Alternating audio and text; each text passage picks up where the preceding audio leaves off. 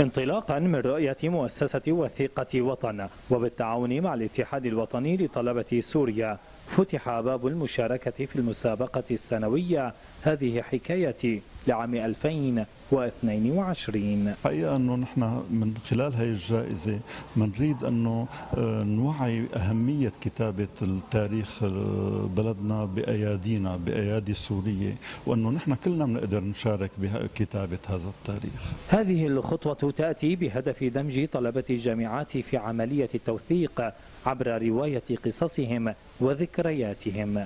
المطلوب اليوم نحن أن نشارك نحن في توثيق هذه الحالات التي يمر بها الوطن توثيق بأيدي أبنائه توثيق النصر بمن عاش هذه المرحلة توثيق آه، كل مرحلة عاشها الطالب في هذه الظروف لا تعتبر آه، نموذجية للطلاب بشكل عام. هذه الفعالية تشكل دعوة للطلبة لكتابة قصص واقعية قصيرة شهدوا أحداثها بأنفسهم وتحمل قيما إنسانية ذات مغزى.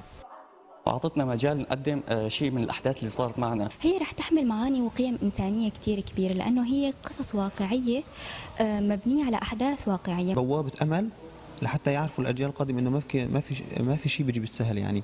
في كثير عالم عانوا كثير عالم آه، انصابت إن كان بحرب إن كان انصابت بجروح معنوية أو جروح بدنية أو ايا كان الإصابة لكن قدروا يوقفوا بعدهم.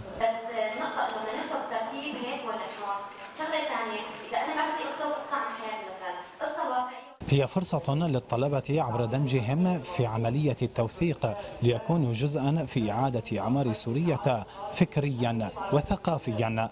وليد هناي الإخبارية السورية حلب.